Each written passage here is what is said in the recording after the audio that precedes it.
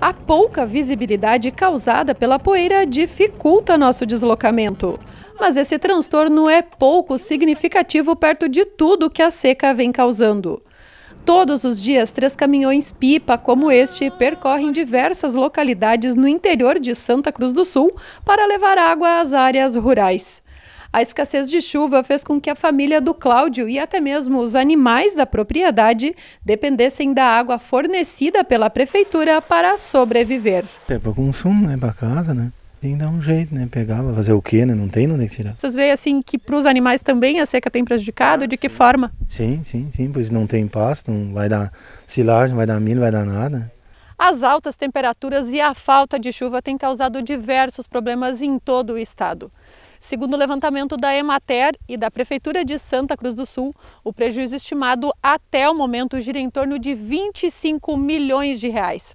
Esta já é considerada a pior seca dos últimos 17 anos. Na cultura do milho existem ah, lavouras que perderam mais de 50%, 60%, né? E outras ah, lavouras praticamente uma perda bem aquém disso, né? E também, a, a, fora isso, né, é, muitos produtores também não estão conseguindo a concluir o plantio da lavoura de milho. Né? A, agora está sendo finalizada a colheita do tabaco na região de Santa Cruz do Sul, né, municípios vizinhos inclusive, e a falta de umidade no solo está impedindo aos produtores a concluírem a plantio do milho. O seu Renato tem cerca de 9 hectares de lavoura plantados com milho. No entanto, segundo ele, mais da metade já se perdeu pela falta de chuva.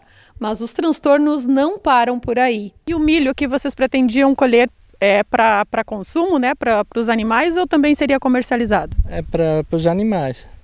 E aí agora, como não vai ter o milho ou diminuir, o que, que vocês, como é que vocês pretendem fazer? Como é que vocês pretendem contornar? É, não, o negócio não é tratar tanto, né? Tem que diminuir a comida é, dos bichos. É, diminuir não, diminuir a quantidade dos bichos daí, né? Para dar de chega daí. Essas espigas de milho, conforme o técnico da Emater, têm a metade do tamanho que deveriam ter. Nesta outra lavoura, o milho que foi plantado na resteva do fumo nem chegou a germinar. Além do milho, outros cultivos como tabaco, mandioca e soja também sofrem pela falta de chuva dos últimos meses.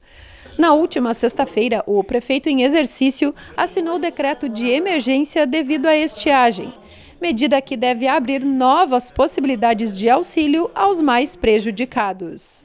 Após analisado e aprovado, esse decreto segue os trâmites que vai para o Estado e para a União, para que também seja ele reconhecido e para que no futuro venham mais recursos e verbas para atender a nossa, o nosso interior.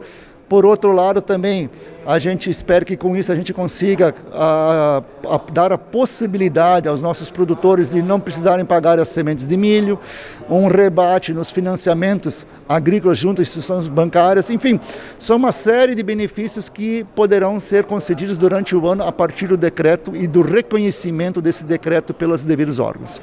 Embora os efeitos da seca sejam percebidos com maior evidência no interior, o coordenador da Defesa Civil alerta para a importância de consumo consciente de água em todos os locais, uma vez que o nível do Rio Pardinho, principal fonte de abastecimento do município, está com níveis preocupantes. Além disso, segundo ele, não há perspectiva de melhora. Esse ano, os que está sendo indicado que seja um verão seco né, com pouca precipitação e precipitações muito irregulares. Uma chuva irregular, na verdade, é ruim para a cidade porque pode causar um temporal que foi do dia 28 de janeiro do ano passado, né, e que não consegue dar conta de abastecer o, a, assim, o lençol freático e voltar à drenagem dos rios. A gente espera que venham chuvas um pouco melhores, de mais qualidade, para conseguir assim, irrigar lavouras, é, impregnar de umidade no solo, que é, quando vem chuva muito rápida é só lavado por cima, né?